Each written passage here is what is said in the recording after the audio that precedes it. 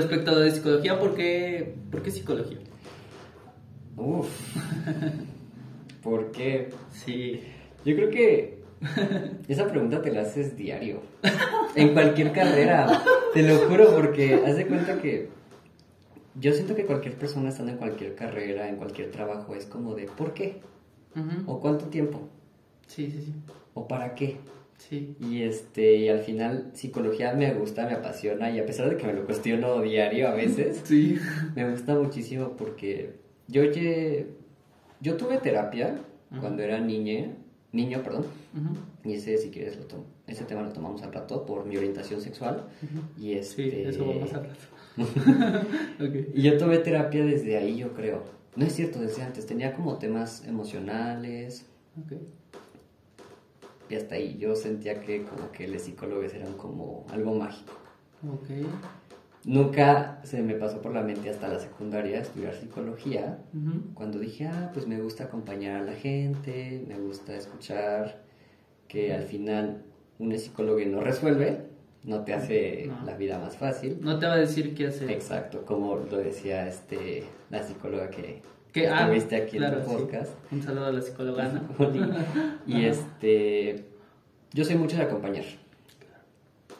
Pero no sé qué me pasó en secundaria que dije, no, güey, a huevo, este, arquitectura, ingeniería civil, a huevo. Sí, La neta sí me gustaba, está chingón.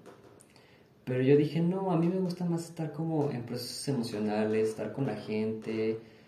Me puse a pensar, tengo historia con profes, que casualmente profes con los que me he llevado más, que han sido psicólogos, Ok. este, que han estudiado pedagogía, que se, han, que se han ido por ramas más humanistas. Y desde ahí dije, ah, como que por aquí va, por aquí va.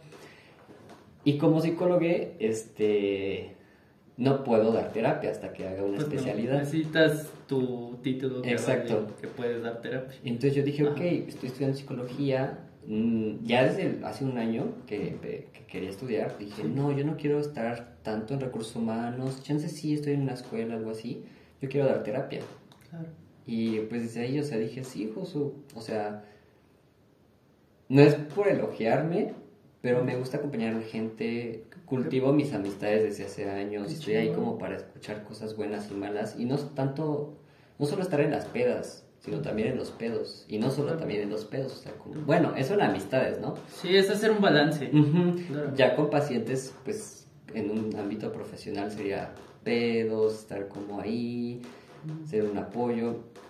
Y la neta es que me gusta mucho, me gusta mucho mi carrera. Desde que me metí, o sea, es bastante teórica. No todo lo que he visto ahorita es como para ser terapeuta. Hay Ah. cosas muy biológicas, hay cosas muy, este, de recursos humanos, por así decirlo. Ok.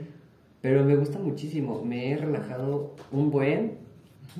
El ritmo que tenía la vocacional, o sea, tú dices, vas a uni y todavía es un ritmo peor, ¿no? Claro. Y no, o sea, de boca abajo. No manches. Sí, o sea, sí, me mato en mis tareitas y todo el pedo.